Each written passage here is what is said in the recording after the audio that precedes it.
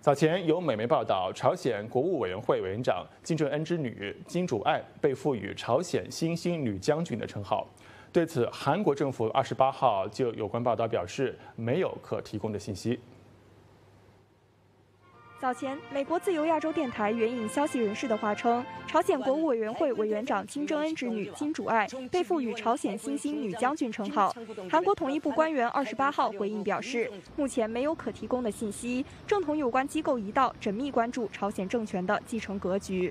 自由亚洲电台报道称，朝鲜二十三号为庆祝成功发射军事侦察卫星万里镜一号，举行平壤市委、国家保卫省、社会安全省干部演讲会。会上对金主爱进行个人崇拜，称其为朝鲜新兴女将军。报道还称，演讲会上出现了朝鲜迈入太空强国时代、太空强国时代的未来将在新兴女将军的带领下更加辉煌等发言。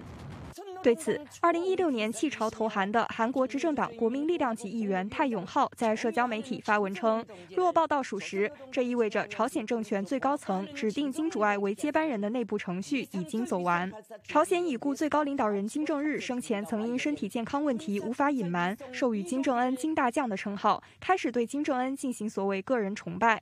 蔡永浩表示，如果朝鲜将十几岁的金主爱和导弹发射成功相结合进行偶像化，那么从朝鲜的标准和观念来看也十分不寻常。朝鲜民众也会认为金正恩出现了健康问题，并因此火速任命接班人。凤凰卫视综合报道。